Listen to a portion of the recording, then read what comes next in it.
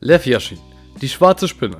Derjenige, der das moderne Torwartspiel einführte, so wie wir es heute von zum Beispiel Manuel Neuer kennen. Unter anderem ist er der einzige Torhüter, der jemals den Ballon d'Or für sich gewinnen konnte. Er gilt noch bis heute als einer der besten Torhüter aller Zeiten. Doch wisst ihr wirklich alles über Yashin? Damit herzlich willkommen zur vierten Folge Know Your Icon.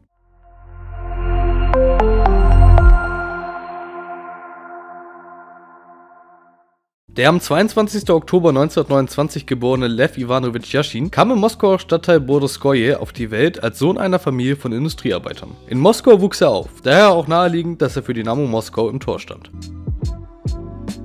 Anfangs wollte Yashin gar nicht als Torhüter, geschweige denn als Fußballer anfangen. Er hoffte vielmehr darauf, den dereinst herrschenden Schachweltmeister Michael Bodwonik abzulösen. Neben dem Schach spielte er auch noch Basketball, Tennis, Wasserball, hütete das Eishockeytor und trainierte auch noch im Fechten. Als er dann zum Fußball fand, fing er damals noch im Sturm an. Jedoch stand seiner Karriere im Fußball noch eine große Sache im Weg.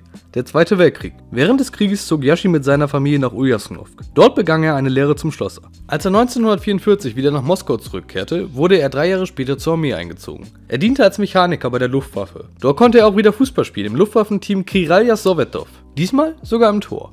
1948. Im Alter von 19 Jahren sollte es dann erst richtig für ihn losgehen.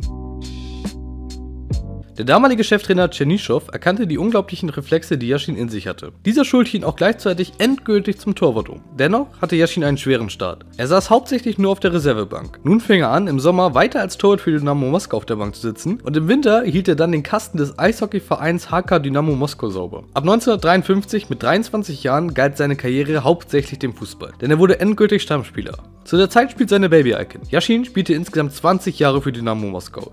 In dieser Zeit hatte er 326 Pflichtspiele, in denen er 119 Mal die weiße Weste halten konnte. Natürlich blieben da die Erfolge auch nicht aus. Mit Dynamo Moskau wurde er insgesamt fünfmal sowjetischer Meister und dreimal sowjetischer Pokalsieger. Doch vor allem stach Yashin durch seine Spielweise heraus. Mit 1,89 Meter Körpergröße war er eine Wand. Eine Wand, die nicht nur herumstand. Yashin involvierte sich in die Spiele, wie es keiner vor ihm tat. Er gilt als Vorlage des modernen Torwarts. Einer, der mitspielen konnte.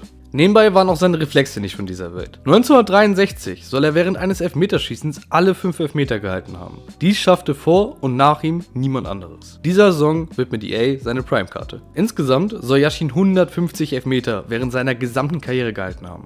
1971 gab er dann sein Abschiedsspiel für Dynamo Moskau sowie die Sowjetunion vor 104.000 Zuschauern. Anschließend war er noch auf Funktionärsebene tätig.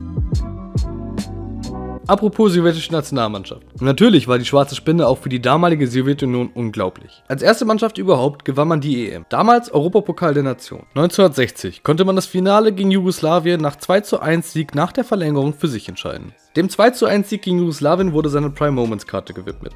Dem ganzen Turnier seine Mit-Icon. Ebenfalls konnte man mit der Sowjetunion olympisches Gold 1956 holen. Insgesamt spielte er 13 Jahre für die UdSSR und absolvierte 74 Spiele.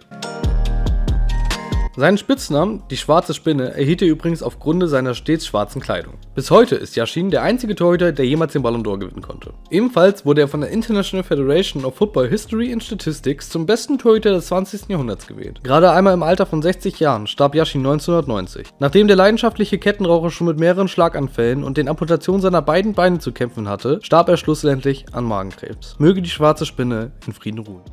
So, Freunde, das soll es dann wieder mit der heutigen Folge Know Your Icon gewesen sein. Wenn es euch gefallen hat, lasst gerne ein Like, Kommentar oder Abo auf dem Kanal da, würde mich alles freuen. In dem Sinne, Freunde, Wiederschauen, reingehauen, haut rein, ciao.